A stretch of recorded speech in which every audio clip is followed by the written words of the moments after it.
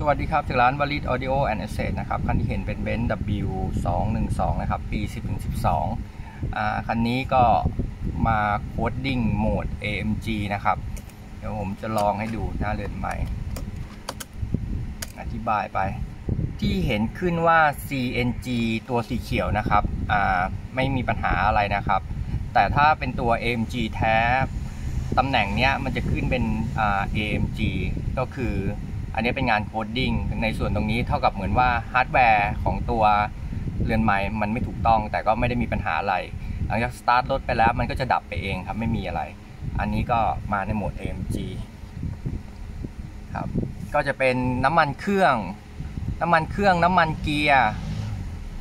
ในส่วนของหม้อน้ำเราไม่ไม่ไม่ได้ตั้งเมนูนี้ขึ้นมานะครับ เพราะว่าเราสามารถดูได้จากด้านขวามันอยู่แล้ว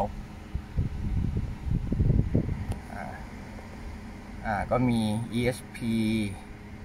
ไอตัวฟันเฟืองข้างบนนะครับที่เป็นขีดอ่ามันจะไม่ขึ้นเป็นจุดไขปลานะครับ เพราะว่าตัวเครื่องไม่ได้เป็น AMG โอเค L1 ก็คือเหมือนวิ่งจับอ่าความเร็วเออเขาเรียกอะไรเหมือนจับรอบสนามครับ ว่า